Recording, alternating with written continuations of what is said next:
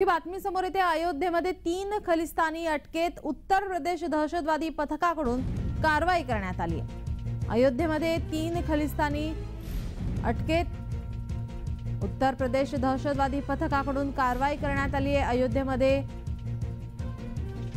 पोलिसांचा चोख बंदोबस्त ठेवण्यात आलाय.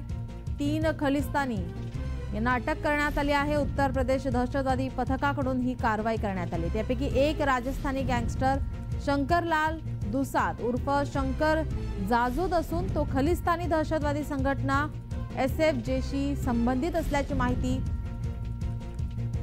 योगी आदित्यनाथ यांनी यांना धमकी. आपले प्रतिनिधी रोहन कदम आपल्यासोबत फोन जोडले आहेत. रोहन काय अधिकची माहिती?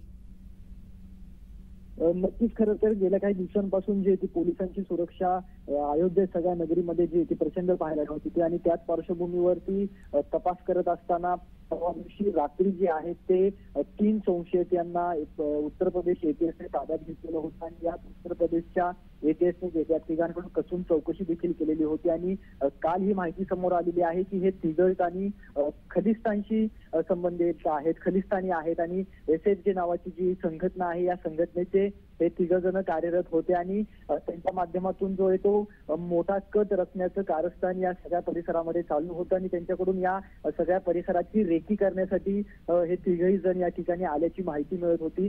त्यामुळे पोलिसांची जे आहे ते उत्तर प्रदेशच्या एटीएसने अनेक केंद्रीय पथकं जे आहेत ती सध्या या सगळ्या आयोजित नगरीमध्ये पाहायला मिळत आहेत आणि हे जे जे एस चे प्रमुख आहेत गुरुवंत सिंग पन्ना यांनी देखील मोदी आणि योगी यांना जे येते धमकी देखील दिलेली पाहायला मिळते आणि अशी माहिती सध्या समोर येते. त्यामुळे या सगळ्या आयुधनगरीमध्ये एक मोठा कार्यक्रम होतोय प्राणप्रतिष्ठेचा बावीस तारखेचा. आणि या कार्यक्रमाच्या ठिकाणी आधीच सुरक्षा यंत्रणेला जे आहेत ते मोठ्या प्रमाणामध्ये सज्ज झालेले पाहायला मिळतात. आणि या पार्श्वभूमीवरती या तीन खलिस्तान्यांना एटीएसने ताब्यात घेतल्यामुळे मोठी अशी खळबळ या सगळ्या परिसरामध्ये पाहायला मिळते. त्यामुळे सुरक्षा यंत्रणा ज्या आहेत त्या सध्या अलर्ट मोडवरती पाहायला मिळत आहेत.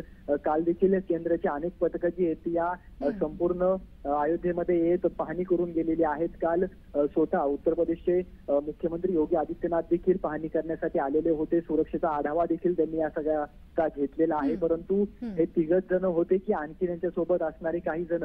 अजून देखील अयोध्येमध्ये आहेत का? याचा तपास सध्या उत्तर प्रदेशचे एटीएस पथक करत आहे उत्तर प्रदेश पोलीस करत आहेत त्यामुळे रोहन याचं अपडेट आम्ही तुमच्याकडून घेतच राहू. तुर्तास धन्यवाद तुम्ही दिलेल्या माहितीसाठी.